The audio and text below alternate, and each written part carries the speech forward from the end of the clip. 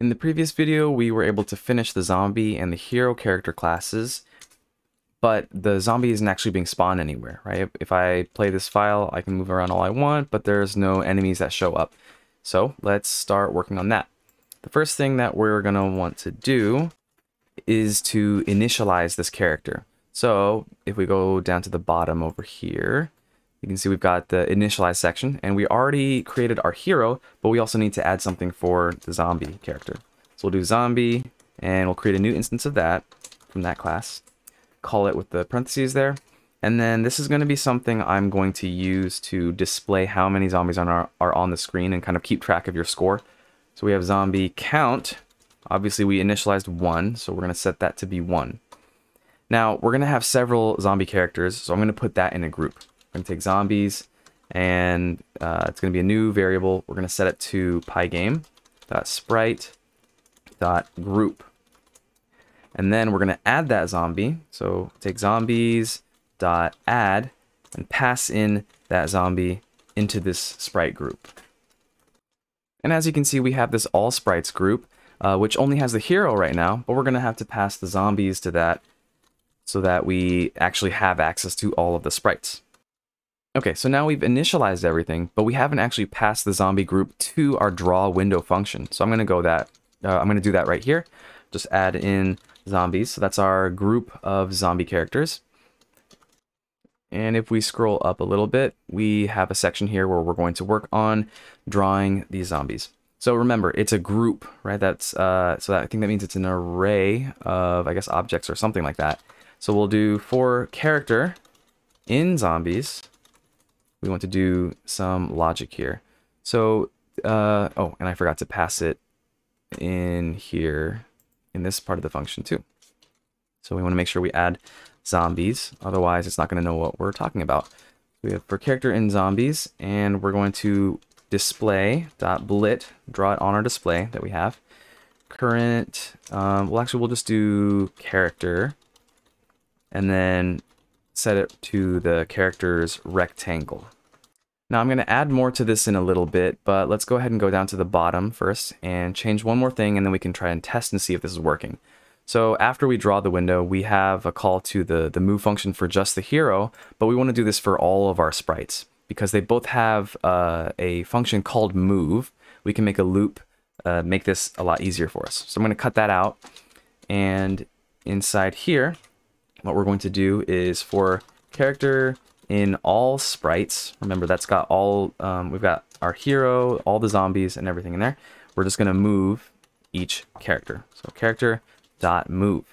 Now that should be enough to give it a test. So, oh, we have an error here. And it says that the, the first argument should be a Pygame surface, not zombie. So let's go back up there and see what's going on. Ah, so it looks like I, yeah, I passed the character, but we need to pass it a surface. So just to satisfy that for now, I'm going to, instead of use the character, I'll pass it the a frame from the walk animation. So we'll just take the, the first one, for example, and let's see if that took care of that error. Okay, so there you go. Uh, I'm moving around, and you can see our zombie character is bouncing around. Uh, he's not changing anything from the walk cycle, but at least you can see when he hits the edge, he uh, changes direction, and he stays inside of the frame. So that is looking good so far. I'm going to go ahead and close this out and continue working over here. I think now would be a good time to go ahead and explain how the walk cycle is going to work.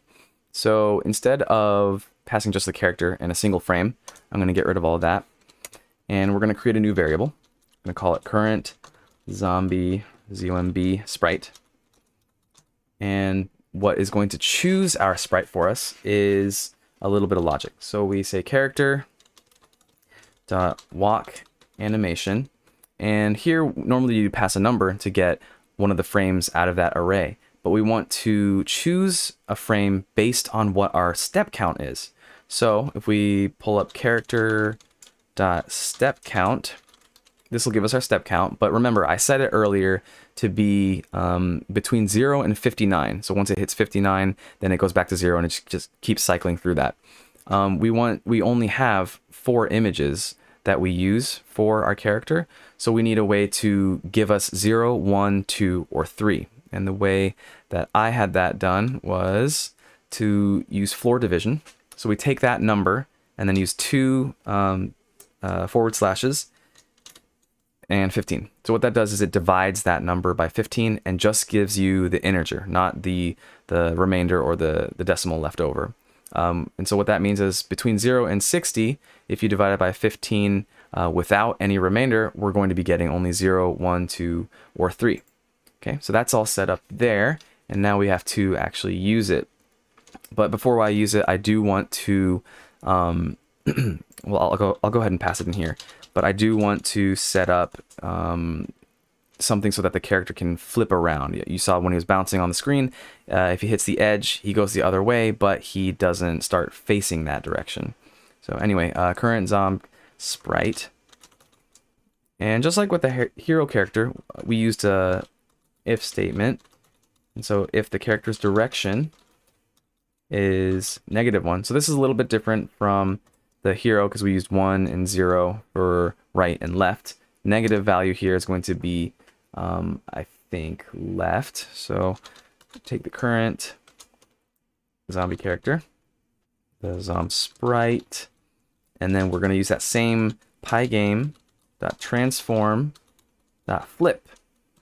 So we take that sprite, current zom sprite, and flip it on the x-axis. So that means true for the first parameter here, and then false for the second one, because we don't want to flip them upside down.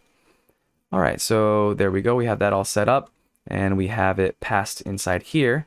So I think we can go ahead and test it out and see if he's going to move properly and walk. All right, so he's bouncing there, but it doesn't look like the walk cycle is working. Um, he is turning around though, so that's good.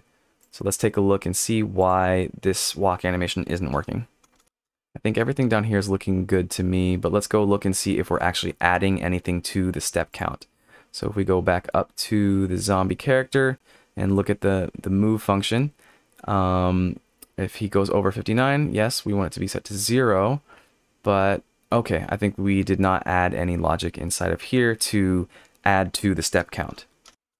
Fortunately, all we have to do is just add one more line of code at the bottom, which is self.stepCount plus equals 1. Okay, so now let's try that again and see if it works. So the step count is working. This guy's a little bit faster. And you can see that his uh, walk cycle is actually cycling through and taking steps. I know it's pretty crude, but um, if you wanted to add more frames to his walk cycle, um, it would change up the math, and I just wanted to keep it kind of simple. So that's looking good for drawing one zombie on the screen, but we want to add more and increase difficulty for the player. And the way we're going to do that is with some user events. So scroll back down to the bottom here where it says user events, and we're going to create a new um, a new constant, and we're going to call it spawn enemy. And what that is going to be set to is pygame dot user event and then we're going to add one to it, and that's just going to make sure that it's unique for this session. And um, what we want to do is we raise this event, um, or let me let me take a step back. So these user events are just kind of custom, um, I guess, kind of like status reports for the game. And uh, every time you raise it, you can tell the game to do something with that inside of this event loop. So remember, if we have event type set to quit, and we click on the X, then it's going to run all of this code inside of here. But what we want to do is set up a, another clause where it says if event type is equal to spawn enemy, then we spawn an enemy inside of here. So uh, how can we get this to spawn every couple of seconds? Um, Pygame actually has a great little function for this. So we do pygame.time.set timer. And this takes two parameters. First of all, it takes um, the event that you're trying to, uh, to run, and then a number in milliseconds for uh, an interval. So I'm going to set it to be 7,000, which means 7 seconds. So every 7 seconds, our program is going to raise this event, and it's going to trigger whatever happens inside of here. And so what we want to do is create a new zombie. So I'll set a new variable, and this is going to be a new instance of a zombie character. And we have this zombie character, and we want to add this into our zombies group that we set up up here. So we'll do zombies dot add, and then we'll say new zombie.